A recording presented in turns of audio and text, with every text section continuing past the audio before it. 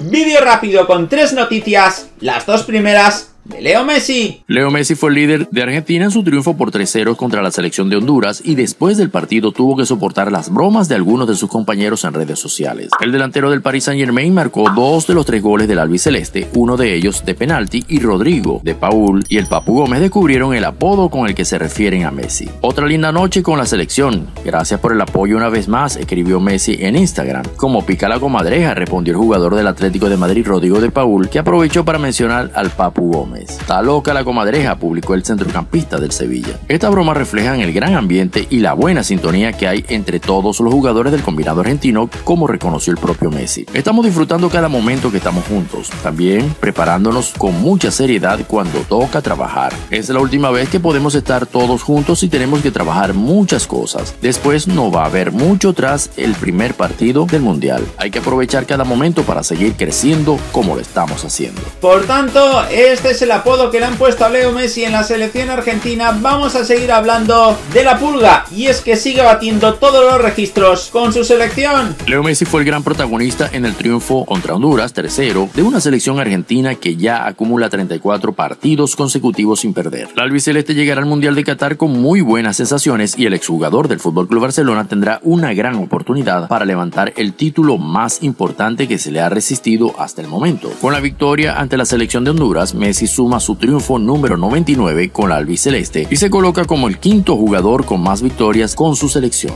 Por tanto, estos son los números de Messi con la albiceleste y ya para acabar vamos a hablar del actual presidente de la Pulga y del ex equipo del 10 argentino y es que el presidente del PSG ha remetido contra el equipo azulgrana el Fútbol Club Barcelona se ha reforzado de lo lindo este verano. Para hacerlo, la directiva ha tenido que trabajar y activar ciertas palancas para asegurarse inyección de capital. Al que Laifi, dueño del Paris Saint-Germain y presidente de la ESA, pareció mandar en su última intervención un recado al Barcelona en ese sentido. Las normas controlan los costes, fomentan la inversión y los nuevos inversores ayudarán a garantizar la sostenibilidad del fútbol. Pero tenemos que tener cuidado. Los niveles peligrosos de deuda y los acuerdos mágicos de capital no son un camino sostenible, comentó. El mandatario del Paris Saint Germain animó a los clubes a mirar más allá del presente. Tenemos que pensar a largo plazo, no a corto plazo, dijo en la vigésima octava Asamblea General del organismo de Estambul. Al que la FI repasó los objetivos que la SA se marcó como prioridades en la Asamblea de hace un año, entre ellas la estabilidad financiera, el fortalecimiento de sus relaciones, la mejora de beneficios para los miembros, la diversidad y la inclusión y la renovación del espíritu y valores del colectivo. No debemos centrarnos en el pasado